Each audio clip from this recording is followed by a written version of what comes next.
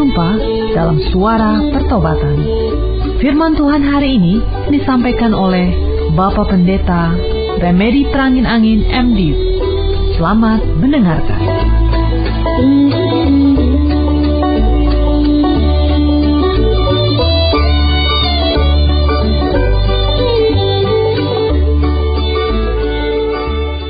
Terima kasih Tuhan Yesus, Engkau telah mempersatukan kami kembali dalam persekutuan lewat udara.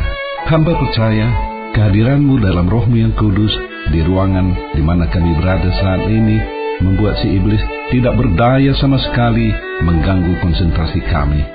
Hari ini kami kembali rindu merenungkan tema tentang sikap tekun mengiring Yesus, khususnya bagaimana caranya agar kami bisa bertekun berbuat baik.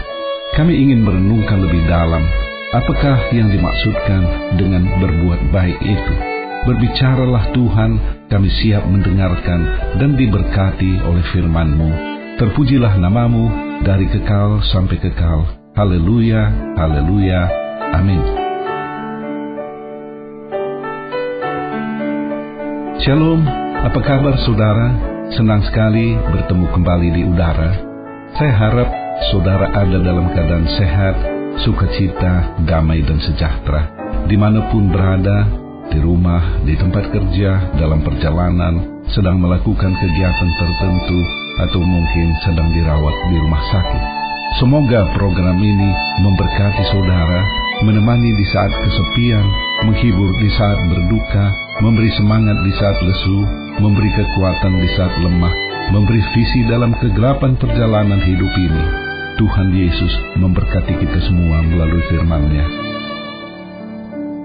Saudara-saudara yang dikasihi Yesus Kristus, minggu lalu saya mulai memperkenalkan tema baru renungan kita tentang tekun iring Yesus. Sesudah sebelumnya kita banyak berbicara tentang pertobatan dan kekudusan. Pertobatan dan kekudusan hidup adalah dua buah tema penting ibarat pondasi keselamatan yang kita terima di dalam Yesus Kristus. Di atas pondasi itu, kita masing-masing membangun kehidupan rohani kita. Sebuah rumah akan tampak jelek walau sudah punya pondasi kokoh kalau di atasnya tidak dibangun dengan rapi dan tidak menggunakan bahan-bahan berkualitas. Demikian juga halnya membangun rumah kehidupan rohani yang indah.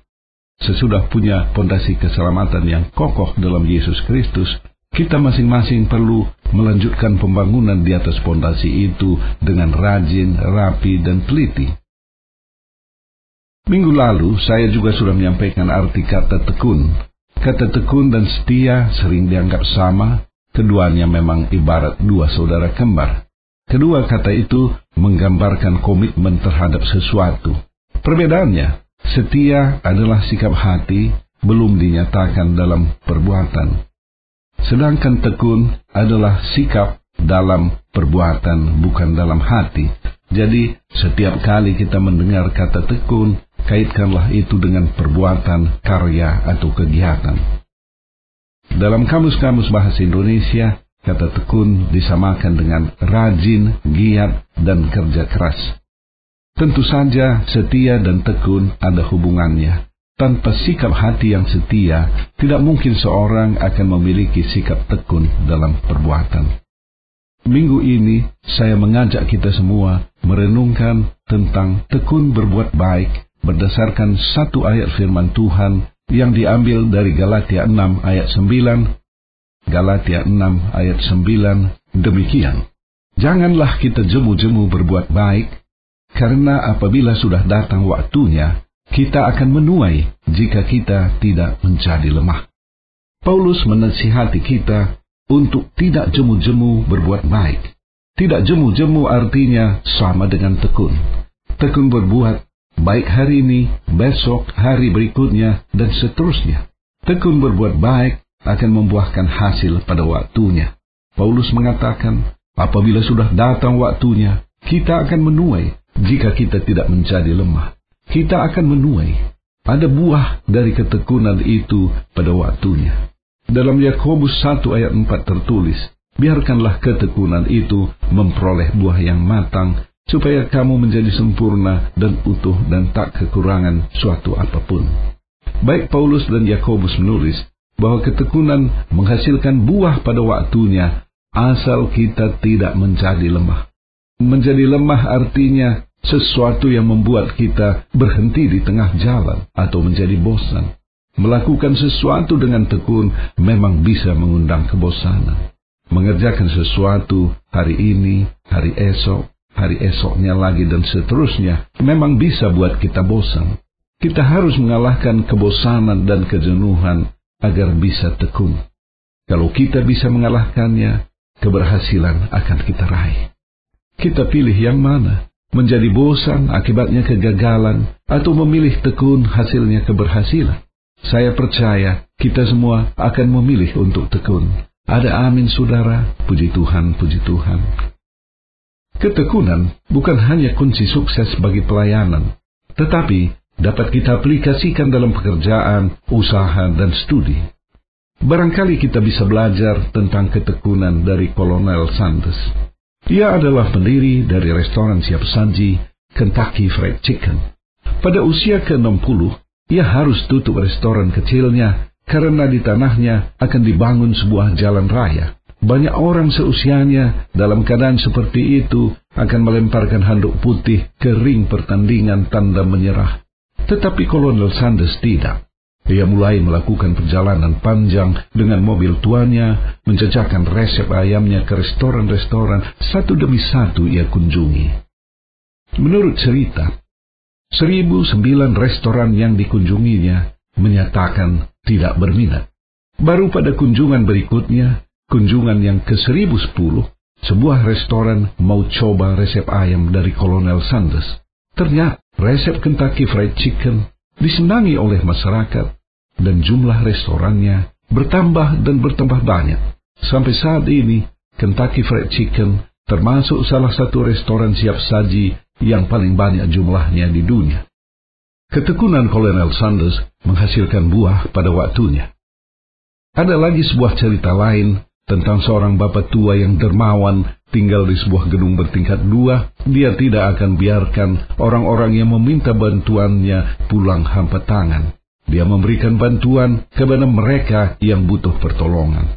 Pada suatu hari, datang dua orang yang berkekurangan ke rumahnya yang satu dari pintu utara, yang lainnya dari pintu selatan. Yang dari pintu utara mengetok, sesudah ia mengetok sampai seratus kali dan pintu tidak dibuka. Ia kemudian pergi meninggalkan tempat itu, pergi ke pasar. Di pasar, ia kaget bertemu dengan temannya yang tadi mengetok di pintu selatan. Di tangannya, kiri kanan memegang bungkusan yang lumayan besar. Ia bertanya, kan tadi kita sama-sama ke rumah Pak Tua itu. Aku mengetok sampai seratus kali, pintu tidak dibuka dan aku pulang.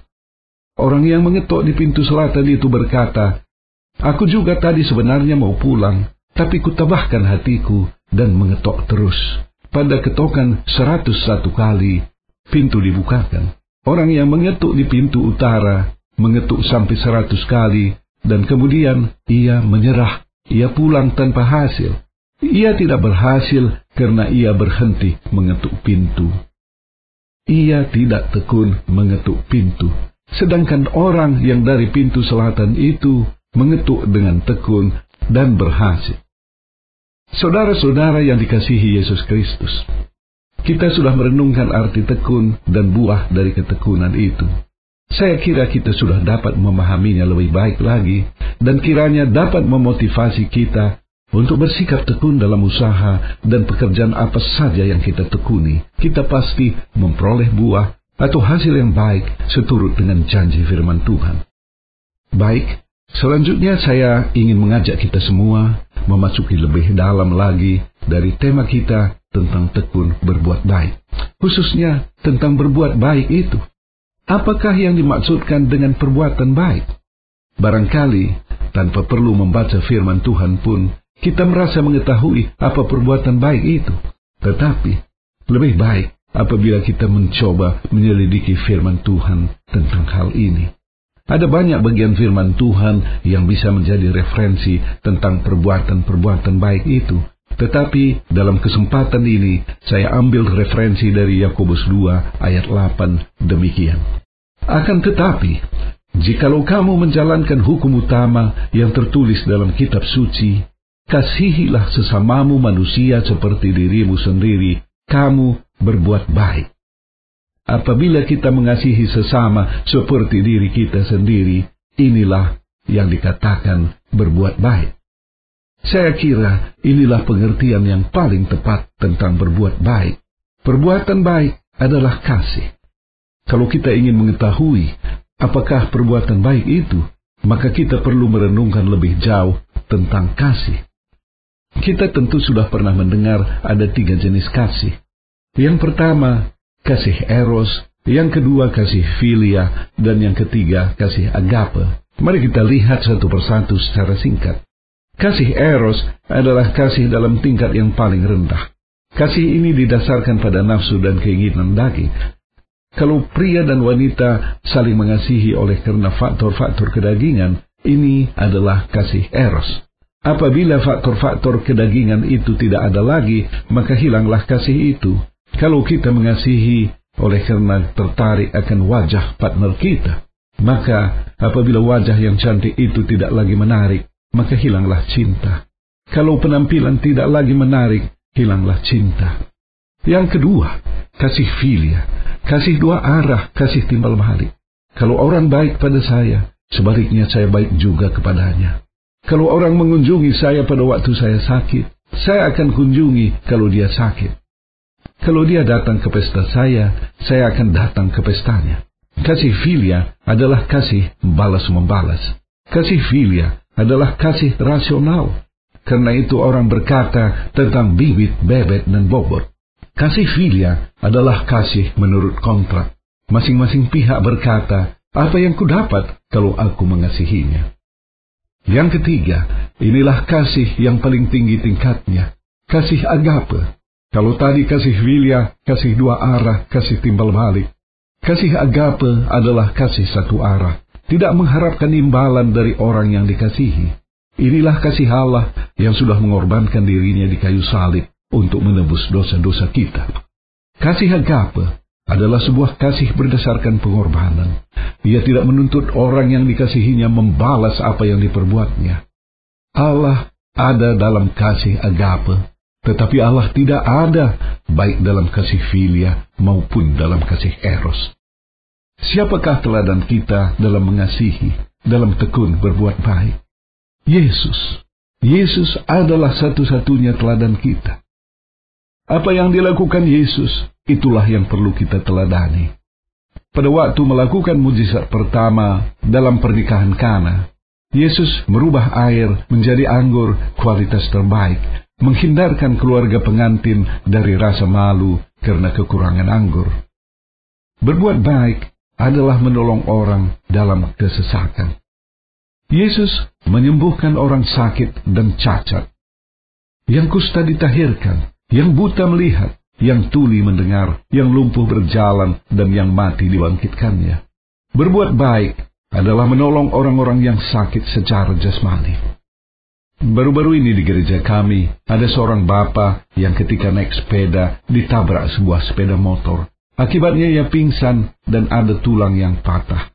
Untuk biaya operasinya dibutuhkan sekitar 70 juta rupiah, jauh dari jangkauan kemampuannya. Tetapi ada saudara-saudara yang menolong, menunjukkan jalan, antara lain meminta semacam surat keterangan miskin, sehingga akhirnya ia cukup membayar beberapa juta rupiah saja. Berbuat baik adalah menolong orang-orang yang sakit. Yesus memulihkan hidup seorang perempuan yang tertangkap basah sedang berzina. Berbuat baik adalah memulihkan hidup saudara kita yang dipermalukan oleh dunia ini. Saudara, apakah perbuatan baik Yesus yang terbesar? Ada dua hal. Ia mengorbankan dirinya di kayu salib untuk menebus dosa kita, sehingga kita semua memperoleh keselamatan itu. Perbuatan baiknya kedua yang terbesar. Ia bersedia mendiami kita dalam rohnya yang kudus. Berbuat baik adalah turut serta menjadi mitra Yesus dalam karya penyelamatan yang dilakukannya. Dalam semua perbuatan baik itu, Yesus tidak menuntut balasan.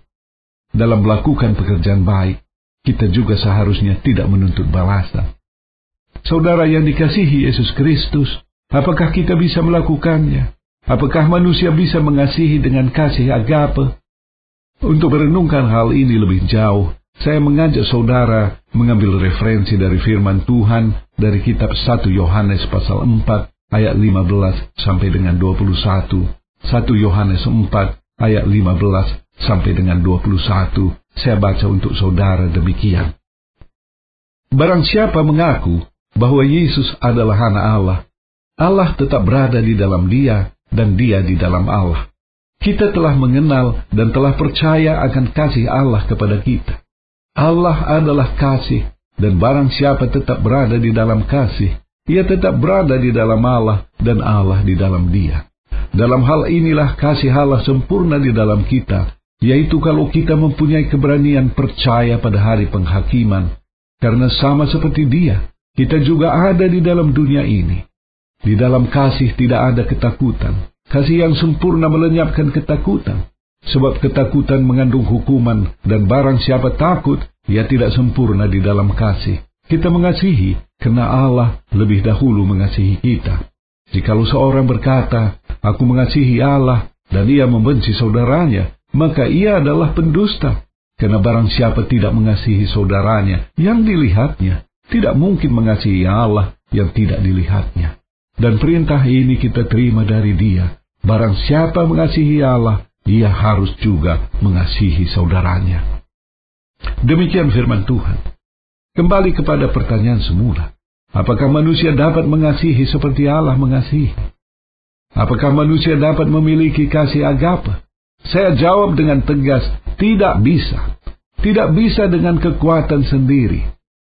Dalam ayat 18 tadi dikatakan, di dalam kasih tidak ada ketakutan. Siapakah manusia yang tidak memiliki rasa takut? Dalam keadaan masyarakat yang semakin penuh dengan tekanan-tekanan, siapa yang bisa mengatasi rasa takut? Kemudian, dalam ayat 23 tertulis, Jikalau seorang berkata, Aku mengasihi Allah dan ia membenci saudaranya, maka ia adalah pendusta, karena barang siapa tidak mengasihi saudaranya yang dilihatnya, tidak mungkin mengasihi Allah yang tidak dilihatnya. Siapakah manusia yang dapat mengasihi saudaranya, yang dapat mengampuni saudaranya sama seperti Allah mengampuni manusia. Tidak ada saudara. Mungkin saudara terkejut mendengar pernyataan saya bahwa manusia tidak bisa memiliki kasih agape dengan kekuatannya sendiri. Iya, dengan kekuatan sendiri kita tidak bisa mengasihi. Kasih agape adalah kasih Allah. Hanya Allah yang bisa mengasihi satu arah. Hanya Allah yang bisa mengasihi tanpa mengharapkan balasan.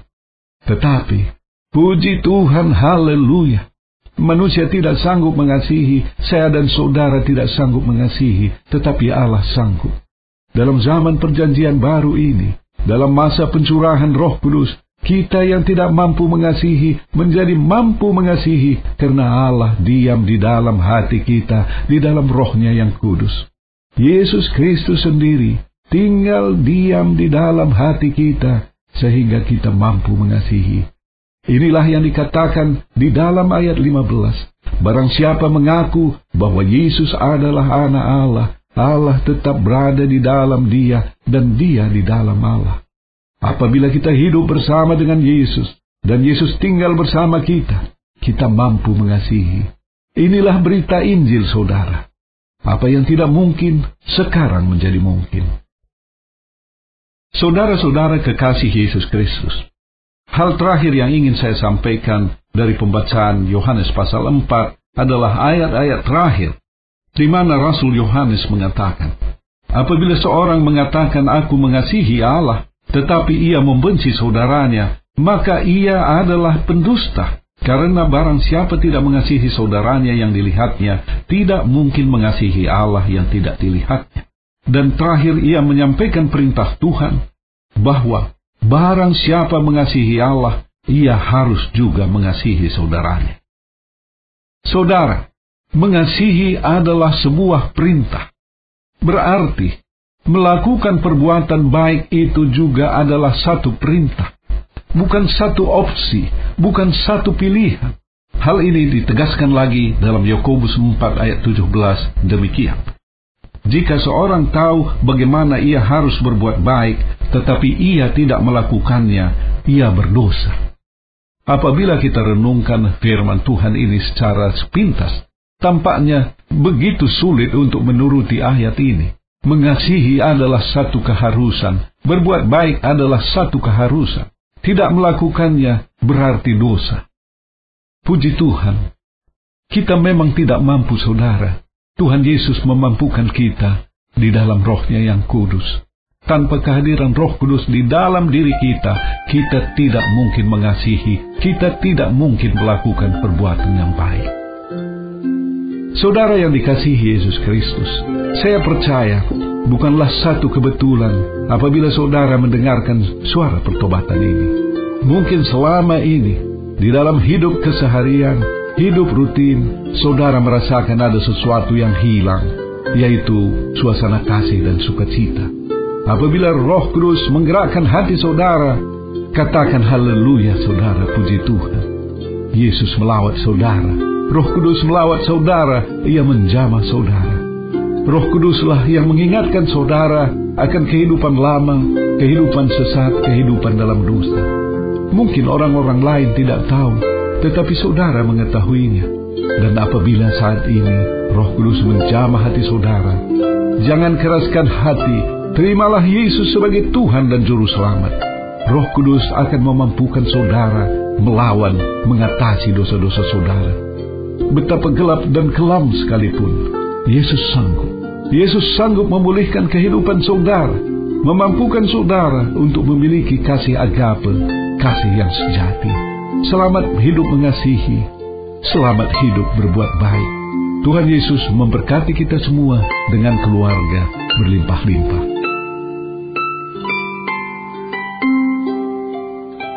Bagi saudara yang merasa dijamah oleh firman Tuhan, oleh Roh Kudus sehingga menyadari dosa saudara, hidup tersesat selama ini, ikuti saya mengucapkan sebuah doa sederhana. Tuhan Yesus, ampuni hamba yang berdosa ini. Sungguh-sungguh kusadari dosaku. Aku memohon pengampunanmu. Aku rindu pimpinanmu dalam perjalanan hidupku ke depan ini. Haleluya. Amin. Bagi saudara yang sedang sakit, saya undang untuk meletakkan tangan di bagian tubuh yang sakit atau pusatkan hati pada penyakit saudara, apa pun bentuk dan manifestasinya, saya akan berdoa bagi saudara. Seturut dengan firman-Mu, dalam pekabaran Injil ada kuasa mujizat termasuk penyembuhan. Tuhan Yesus, jamah setiap saudara yang sedang sakit, yang sedang mendengarkan siaran ini. Sembuhkan mereka. Haleluya. Amin. Bagi saudara yang punya akar pahit, luka jiwa, tidak bisa mengampuni seseorang atau beberapa orang karena perbuatan mereka yang sangat melukai hati saudara. Saya rindu berdoa bagi saudara. Tuhan Yesus, tolong lawat saudara yang punya akar pahit luka jiwa.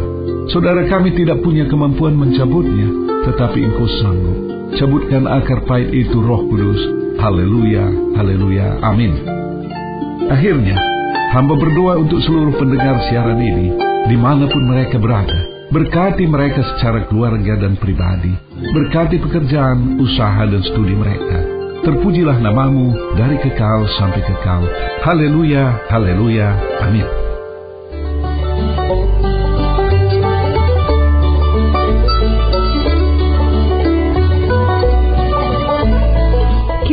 Mendengarkan firman Tuhan yang disampaikan oleh Bapak Pendeta Remedi Perangin Angin MD pendengar dapat mengirimkan pokok-pokok doa kepada Suara Pertobatan alamat email suara pertobatan at gmail.com suara pertobatan at gmail.com SMS atau telepon di pesawat 021 7005 8400 021 7005 8400 Sampai jumpa pekan depan pada hari dan jam yang sama. Tuhan Yesus memberkati.